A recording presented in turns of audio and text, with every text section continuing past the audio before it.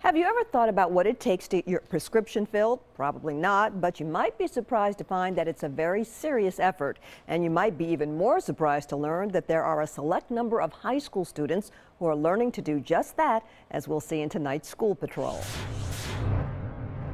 So uh, what I'm going to do is call out what it is, and then they'll have to figure out what the abbreviation is on it. And those are the simple rules We have some abbreviations that they'll commonly see on prescriptions they'll get. to pharmacy bingo. Two times a day, Lipscomb University pharmacy student John Scarborough three times a day. is in charge of calling out the terms. Subcutaneous. And it's not long I think I got it. before one of these Overton High School students Crossed out. Isn't it SQ? has it right.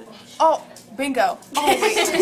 This is part of a working partnership oh, then sub, con- yeah, continuous. between Lipscomb and Overton. So this course really is like a pharmacy tech course that you would take over the year, Doxycycline. with the emphasis on working. working maybe to support the family or even working to then pursue a healthcare career, especially in pharmacy if they're interested in that. Dr. Rhonda Bryant So we have two drugs. We have metformin, different strengths. So they have to pick the right strength. says this groundbreaking program came as a result of being a pencil partner for Overton. And we were talking to Denise Wigington at the teacher planning day. It kind of progressed, and it was really natural for us to say, hey, this is a great opportunity for us to put our resources together. Getting the information from the patient when they drop off the prescription. After the games have been played, Pharmacy students are going to be both the patient and the pharmacist, depending on the step. it's time to flip Hives is a typical reaction to codeine. the prescription. It's like a completely different language that they have to learn. She is interpreting the physician's prescription. The M&Ms were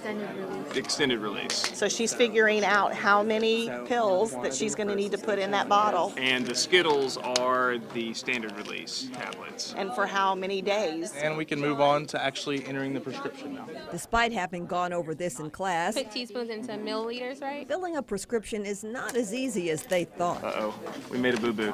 I made a boo-boo too. Uh, It's hard because if you do a pill short or a pill too much, like that's people's lives. And there's more than just the medication to consider. When you're actually billing the insurance, you're going to need the BIN, the group, the PCN, their member ID, and this is actually like in the real world what you're going to need to um, fill a prescription. This program is only available in one other school in the state, We found out the directions, the dosage form, the quantity, how many refills. and it's a beneficial education for all involved. This is actually real life, and they're going to understand the process that we don't really think about when we go to the pharmacy and pick up a medication.